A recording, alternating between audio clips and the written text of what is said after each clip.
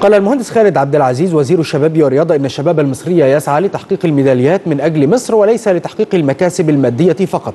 جاء ذلك خلال جلسة استماع بمجلس النواب لمناقشة الإجراءات التي اتخذتها الحكومة لمواجهة تجنيس اللاعبين المصريين بجنسيات دول أجنبية أخرى.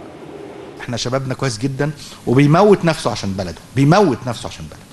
الحاجة وبيبقى فرحان جدا وصدقوني يعني وشفنا الدموع في عين المسؤولين والرياضيين والمدربين وكده مش عشان هياخد 1000 جنيه ولا 2000 جنيه ولا 3000 جنيه.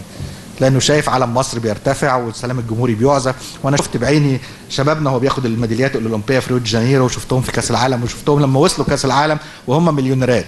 يعني في بعض لعيبة كرة القدم ما شاء الله عليهم مليونيرات. ومع ذلك لما وصلوا كأس العالم قد إيه كانوا مش مصدقين وقد إيه كانوا بيعيطوا في أوضة اللبس وقد إيه كذا رغم إنهم وصلوا بكأس العالم مش هيفرق معاهم ماديا. إنما هم قد إيه فرحانين.